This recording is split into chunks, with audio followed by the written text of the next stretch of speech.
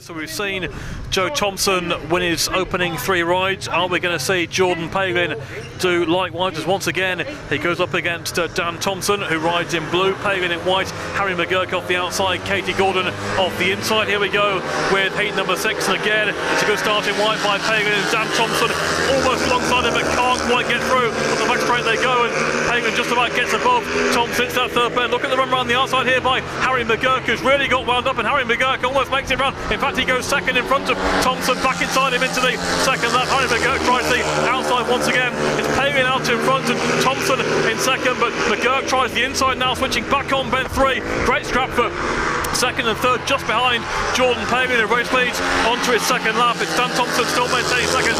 Now To regain ground on Palin on the uh, third lap, and he goes for the outside move on the third and fourth bend. And does Palin? No, he's there. Palin holds it tight off the fourth bend. Dan Thompson trying to go round him as they start the last lap. Super action here in H6, and still Dan Thompson trying to go round Jordan Palin. He will be around the room, not quite. It's still Jordan Palin from Dan Thompson. It's McGurk in third. One last pass around the outside by Thompson. Palin holds tight. Palin gets him. Palin wins it. Second place, Dan Thompson.